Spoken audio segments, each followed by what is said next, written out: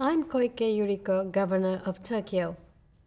I invite you to take in the view from Rainbow Bridge, from Tokyo Tower to Tokyo Sky Tree, and all of the dynamic scenery in between. Enjoy the sight of ships that traverse the globe, feel the breeze from the bay, and experience a new way to see Tokyo Rainbow Ride. On November 23rd at 7 a.m., we will open the Rainbow Bridge to cyclists. Take a look at this exciting event. A sports festival where everyone in their own way can enjoy. Where sports vitalizes the city and its people. Grand Cycle Tokyo. Bike the Rainbow Bridge. Tour through the Uminomori Tunnel. Tokyo has plenty of sights you have yet to see. So let's pump those pedals. Let's ride the breeze. With everyone's excitement, let's pump up the town.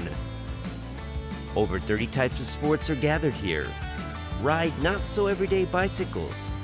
Go wild watching the performances of top athletes.